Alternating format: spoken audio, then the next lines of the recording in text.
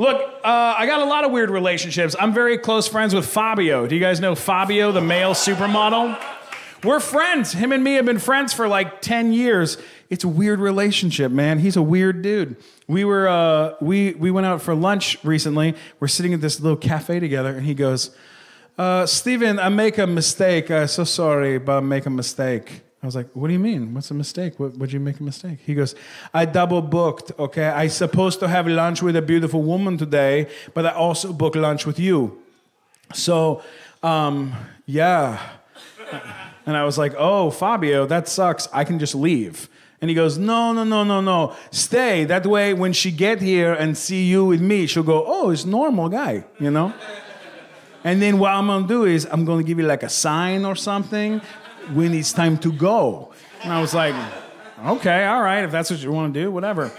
So we're sitting there, and then this beautiful girl walks up, sits down. We start chatting. We're talking for about 10 minutes. About 10 minutes in, he goes, Stephen, isn't it time for you to go now? I was like, this is your subtle way?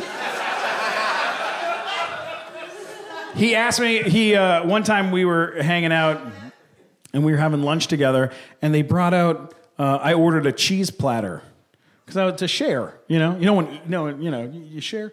I go, Fabio, we're gonna have this cheese platter. You want to share cheese platter? He goes, No, Stephen, I never eat cheese. Okay, I never have cheese in my whole life.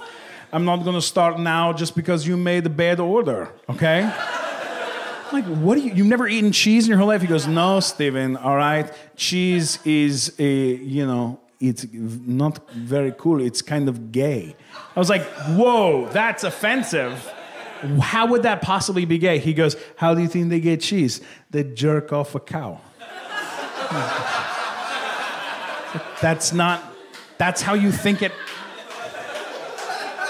that's how you think it works?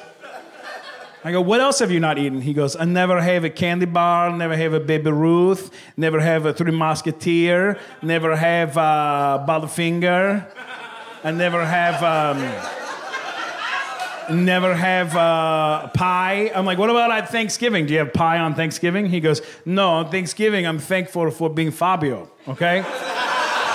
You eat the pumpkin pie, it's trash food for you, not for me. I was like, well, what about cake? Do you ever eat cake? He goes, on my birthday, we have a cake, but I don't eat the cake. I just blow the candles and everyone else eat.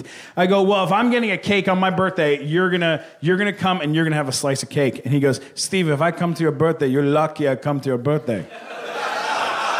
I'm Fabio. I'll grab your mom's ass. It's like last time. He's a weird friend. He's a weird friend.